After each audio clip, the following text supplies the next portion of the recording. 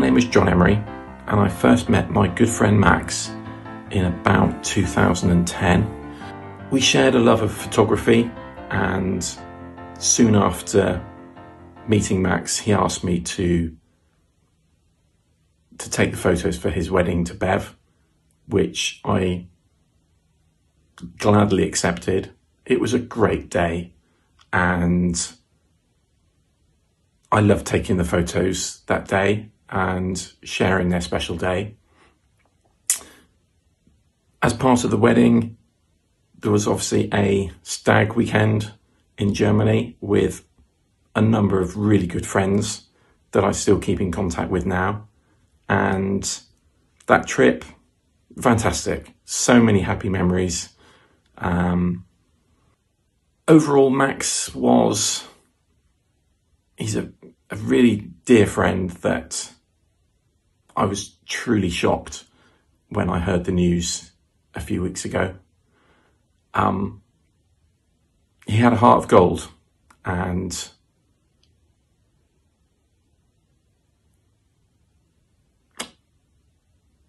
he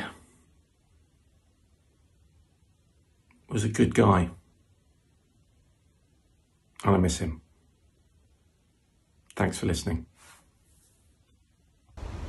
all the t-shirts he had. Countless, hundreds of different t-shirts, but the one I remember was the one that said, arrive, raise hell, leave. um, and to finish off, I'd like to read one of Max's uh, favourite poems. Uh, we've come so far and we've reached so high.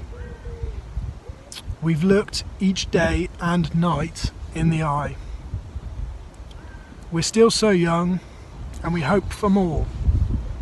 But remember this we're not invincible. We're not invincible.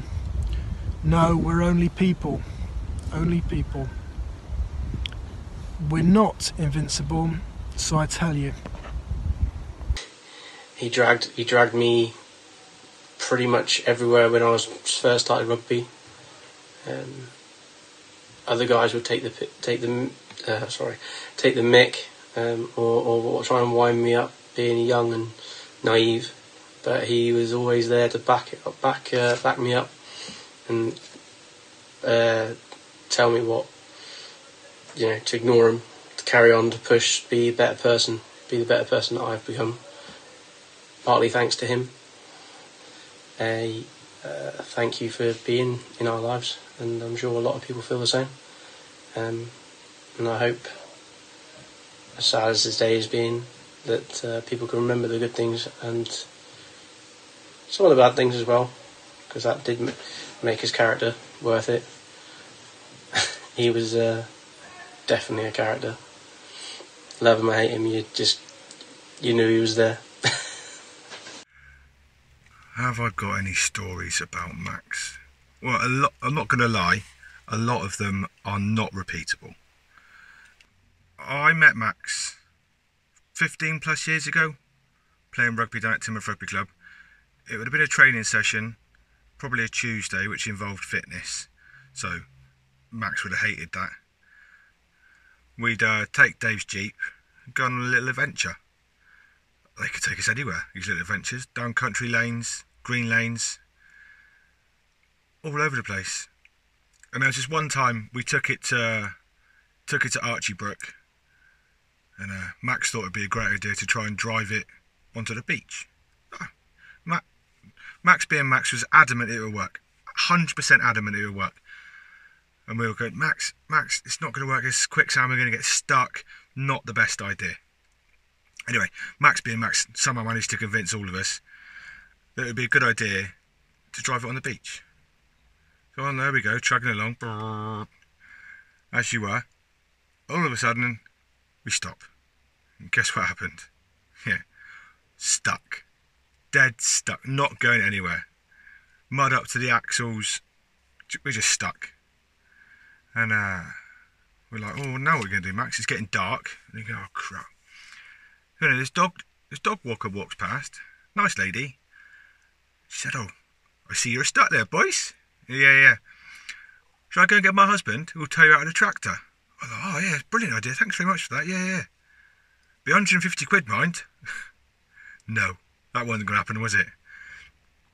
So I think it was Dave in the steering wheel, me, Max, and Chili pushing this little Jeep out. We were covered, utterly covered. Got it out, mind. Saved ourselves 150 quid.